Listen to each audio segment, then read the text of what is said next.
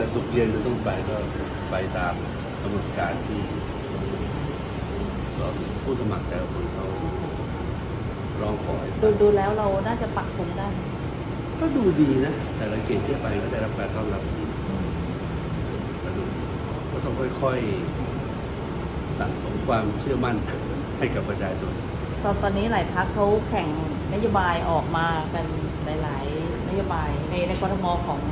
ของภูมิใจไทยมีอะไรที่จะมันจะติดหูติดตาติดใจก็ส่วนใหญ่ก็เป็นเรื่องของมลภาวะนะครับ เรื่องของ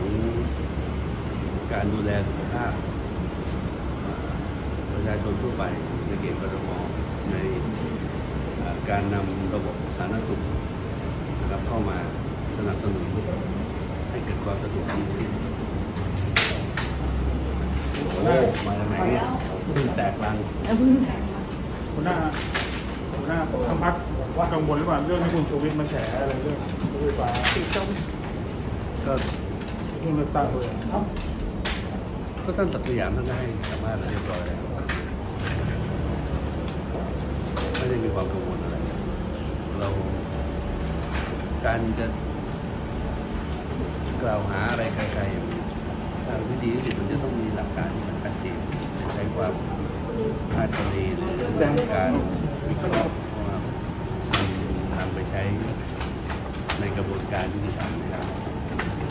ต้องมีหลักฐานมีหลักฐานต้องฟานไปเรียงแล้วไม่ได้มีผลกระทบในช่วงของการหาเสียงของพรรคมีมีมีเราก็จะทำผมเชื่อว่าประชาชนก็คงรับทราบกันดีนะครับว่าในช่วงของการใกล้เลือกตั้ง การสาดโคลนใส่กันเป็นเรื่องที่เกิดขึ้นมาตั้งนานแล้วนะครับ เราเราก็ต้องดูว่าการส่วนใหญ่เวลาสาดโคลนใส่กันเขาก็จะระมัดระวังคนสาดโคลนก็ระมัดระวังเขาก็จะพูดเป็นตัวย่อบ้างอ้อมอ้อมไปอ้อมมาบ้างในเรื่องพวกนี้มันมันก็หาสาระไม่ได้ มองว่าเป็นเรื่องการเมืองที่ต้องการที่จะดิสเครดิตนเรื่องนี้ก็ แน่นอนอยู่แล้ว ธรรมดา ที่มันเป็นการแข่งขันการบริหารราชการแผ่นดินลดลงการแข่งขันในเรื่องของการเข้ามาบริหารราชการแผ่นดินเนี่ยมันความคิดคนก็ไม่เหมือนกันนะคนที่อยากจะเข้ามามาก ๆ ก็บางทีก็เล่นนอกบทอืมแต่ว่าไม่เป็นไร ถ้าเราไม่ได้ทำอะไรผิดมันก็ไม่มันก็คือไม่ผิด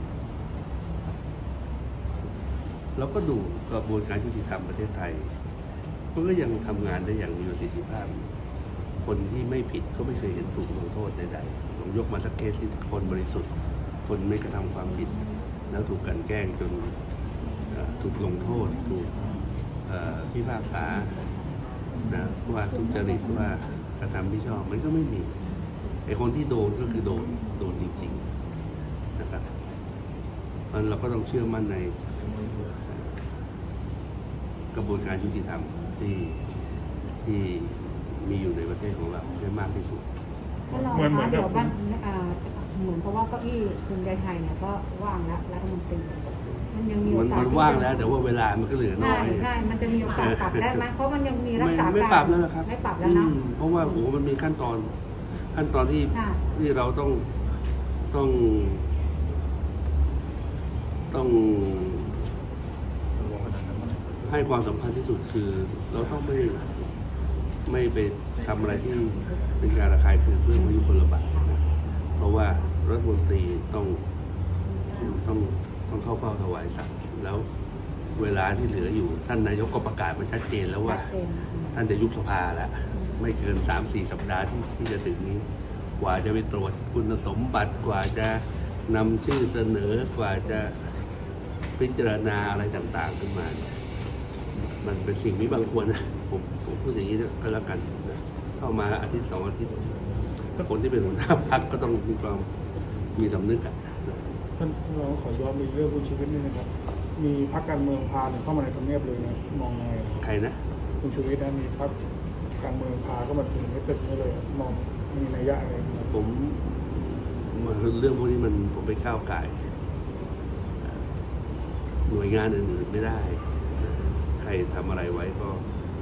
ก็ก็ก็ต้องอธิบาย ถ้าใครมีความสนใจก็ไปอธิบาย ผมไม่ไม่ได้รู้สึกรู้สาอะไร เรื่องที่เขาพูดมาก็มีแต่เรื่องพักร่วมนะก็เวลาชี้นิ้วไปที่คนอื่นหนึ่งนิ้วเนี่ยอีกสี่นิ้วชี้เข้าตัว เป็นแบบของมาตรฐานอะไรอย่างนี้ไหมคะเพราะว่าคนอื่นที่มาร้องอะไรอย่างเงี้ยไม่ได้เข้ามาพบอันนี้ผมไม่ทราบ เพราะเราไม่ได้ไปไปติดตามแต่ไปชิดงานการเยอะแยะไปหมดแต่ความสัมพันธ์พักร่วมก็ไม่เหมือนเดิไม่มมีอะไร ทุกรัฐบาลทุกช่วงเวลาทุกสมัย มันก็มีการทะเลาะเบอกแวกกันในบรรดาหมู่มวลสมาชิกนะเนาะขอให้ระดับบนนะครับ อย่ามีปัญหากันคุยกันได้เปิดช่องกันไว้ กรณีของปัจจุบันนี้ระดับบนหัวหน้าพักผมท่านจุรินท่านวราวุฒิท่านนายก ประยุทธ์จันโอชา ท่านประวิทย์ก็ยังมีความสัมพันธ์ที่แน่นแฟนนะครับ มีการเคารพนับถือเกรงอกเกรงใจซึ่งกันและกันอยู่ไม่มีปัญหาอะไรหรอกครับ รุ่นใหญ่ก็โอเคก็พอแล้ว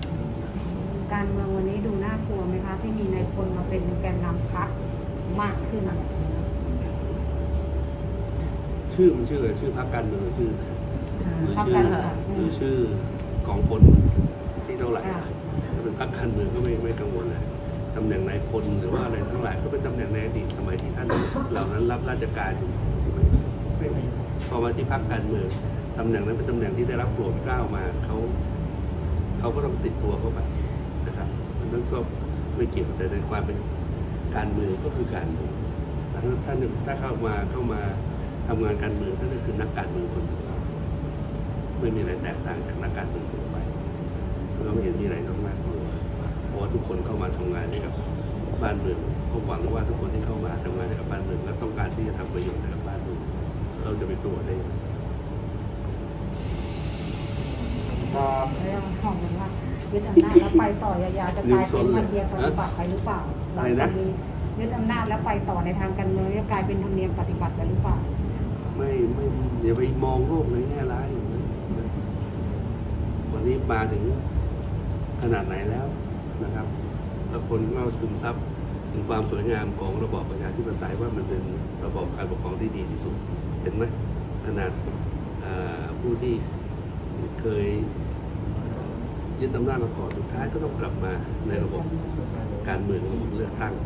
ตราบใดก็ตามที่ยังมีระบบนี้อยู่รักษามันไว้นะครับนะครับ รักษามันไว้ให้นานให้ดีที่สุด คนที่จะทำให้เกิดเหตุการณ์ไม่พึงประสงค์ได้ก็คือนักการเมืองเท่านั้นแหละครับ ประชาชนไม่ได้เกี่ยวข้องด้วยดังนั้นนักการเมืองก็ทำตามกฎหมายทำตามระเบียบทำตามข้อบังคับต่างๆให้มันเคร่งครัดเคารพกฎหมายยึดมั่นในเรื่องของความ สามัคคีปรองดองของคนในชาตินะยึดเจตนารมณ์ในการทำประโยชน์ให้กับบ้านเมืองให้กับประชาชน อย่างนี้เนี่ยก็จะไม่มีวันที่ระบอบอื่นจะเข้ามาแทรกแซงระบอบประชาธิปไตยได้